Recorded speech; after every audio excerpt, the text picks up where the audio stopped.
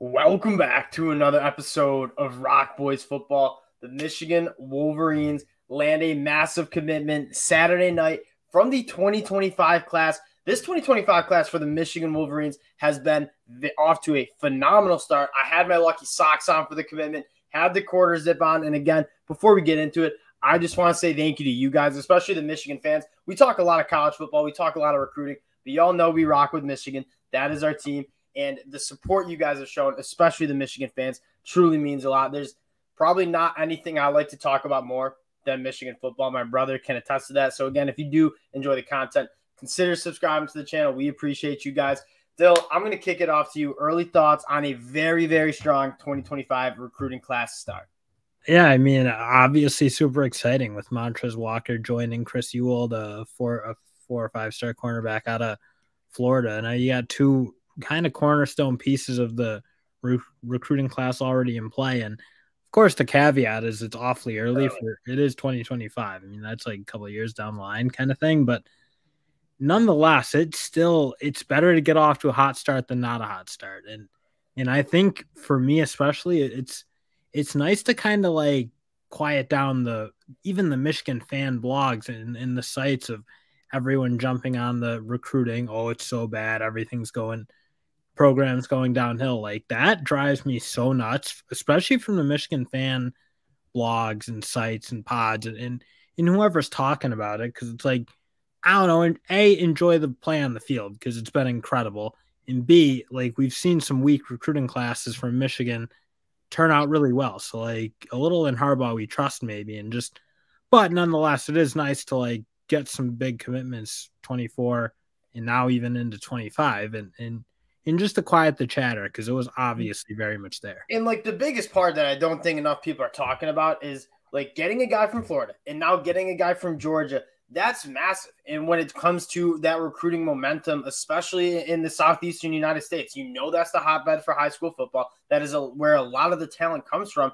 And you look especially where Mantrez Walker plays his high school football for Buford. That is probably the best team in the state of Georgia. They have multiple guys who end up in Athens, Georgia pretty much every single year. I'm pretty sure in 2024 they put two kids going to Georgia. They're both guys that are top 50 nationally. They've won like what four straight state titles in the state of Georgia. And now, what did Mantrez Walker say when he was getting interviewed after his commitment? I'm gonna bring my boys from down south and tell them to go check out Ann Arbor. And that is massive. Michigan has recruited really well in the state of Michigan, in the state of Ohio, and having some guys that can help you bring up some of that talent from the southeastern United States is absolutely massive. Yeah, no, that is huge because you kind of know Michigan's going to get a fair amount of talent out of the state, but naturally, Michigan's not. It's not Georgia. It's not no. Texas. It's not Florida. It's it's decent football, but it's not nothing incredible. So to be able to recruit out of state is obviously going to be a huge thing for Michigan. And and again, you look at like guys like Mantrez Walker and Chris Ewald, both from hot, like the, the hottest of hotbeds in, in high school football. So, yeah, that uh, certainly to, to win those battles, will that'll be huge for Michigan. And then honestly, it's got to become probably the standard to an extent for, for Michigan and, and 100%. be more what you expect. And of course, the play on the field's been incredible, but naturally, you would like to see the steps forward in recruiting and, and, and being able to, especially out of the state and, and from the southern part of the country. And I, I want to get a little bit to this kid's film and his highlights because when I was watching him, I, I he was on my radar because I knew Mich he just had visited Michigan. You're seeing some crystal balls head there. Like when you watch him, he's not necessarily a five star. Uh, keep in mind when you're looking at his recruiting ranking, he's not ranked yet because they only have like 60 guys officially ranked in that 2025 class because it's so early on. He's going to be a top 100 kid. It, it really does seem that way. And again, I think you're not necessarily seeing him as a top 50 prospect right now is because he's a little short and he doesn't have that length. And you know the NFL and you know those high school recruiting services want to see those long, rangy guys who have that hyper athleticism. This guy's a hyper athlete, but he's a true Big Ten middle linebacker, and that's why it's so big for Michigan. Like you watch this guy's film and watch his highlights, he plays the game the right way, and he plays a very physical brand. But what's even more important when I was watching him is his instincts from that middle linebacker position, the ability to go sideline to sideline, like you see there, but just filling gaps, being physical, and not missing any tackles. This guy, when you say Big Ten linebacker, that is Mantrez Walker because he's a physical specimen who's willing to lay the wood between the tackles. And getting a guy that's this developed as a 2025 class kid, and this isn't only a sophomore who looks like he could be really ready to play college football next year. And so I'm extremely excited about him. And again, you take a look at his highlights, there's a lot to be excited about.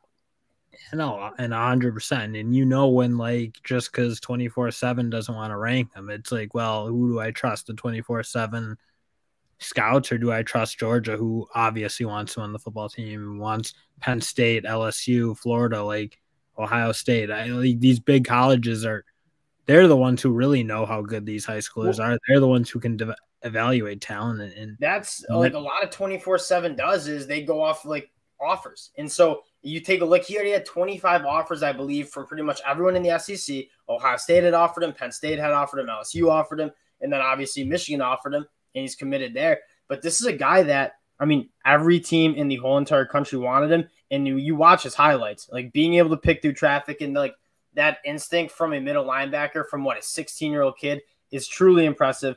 Now I want to get over to like what this recruiting trail looks like for Michigan. You see the 2024 class; it's off to a phenomenal start. They already have seven commits. They're a top five class overall, and obviously the the big the big bugaboo, if you will, is landing Jadyn Davis, a top 20 player nationally, the number two quarterback. He's been crystal ball to Michigan.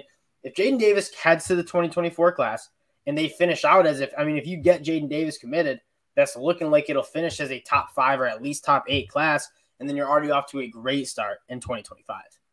Oh, and 100%. That, of course, Jadyn Davis is kind of the guy, and you like to think that that's going to work. But just just the fact that the recruiting's like again, it's kind of roaring back, and that that obvious. I and again, I'm not like the one who sits and watches recruiting and like, oh, that's what your team's going to be. I think that's stupid. I think because it, it, hasn't been with Michigan. You look at what the players that are contributing the most to Michigan's success on the field have been more the developmental guys who have stayed there and are fourth and feel like the Ronnie Bells, the Mike Barrett's, the Jalen Harrell's, like guys who didn't necessarily come in as blue chip five star guys, but have stayed in especially now you got to identify the right fit in guys who are going to fit yes. the culture because like now they can just leave and you're seeing some programs really struggle like texas a&m i don't they got a lot of talent but they're like they're like a revolving door a little bit and again you, you need a mix of both right you can't be the 30th ranked class and expect to go compete for national titles but you got to be in the mix for sure and you got to get your share of talent but but you also got to get the guys who are going to fit the culture. And that's the one thing Michigan feels like they've really killed it with is getting the guys who who fit the system, hitting the portal at at times when they need to with guys like Olu. And then this year, obviously, they've really gotten aggressive in it.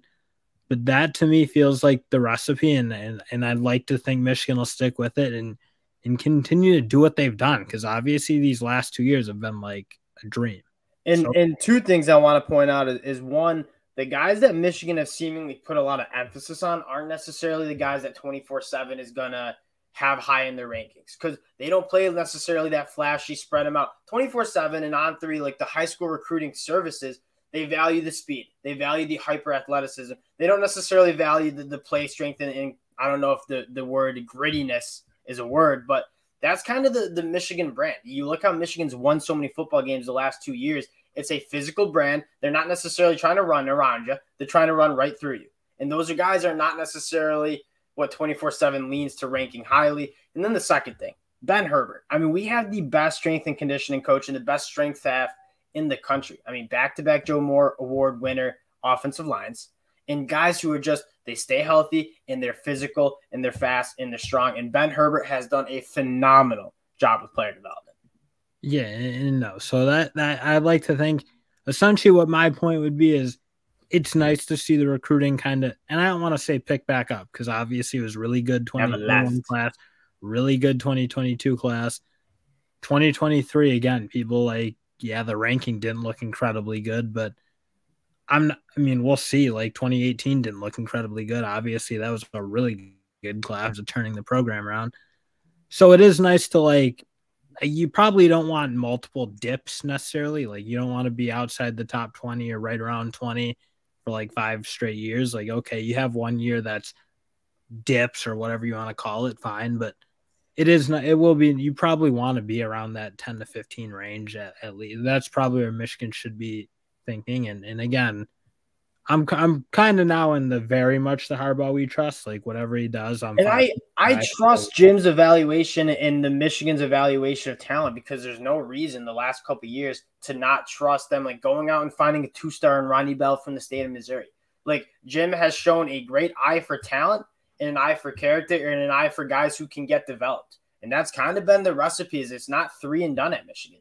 It's guys who stay. Think of like a Mike Barrett who didn't play for his th- first three years at Michigan and he stays, he's an all conference linebacker and he's coming back for a fifth year to play again. Like that's the type of stuff that Michigan's building this program on.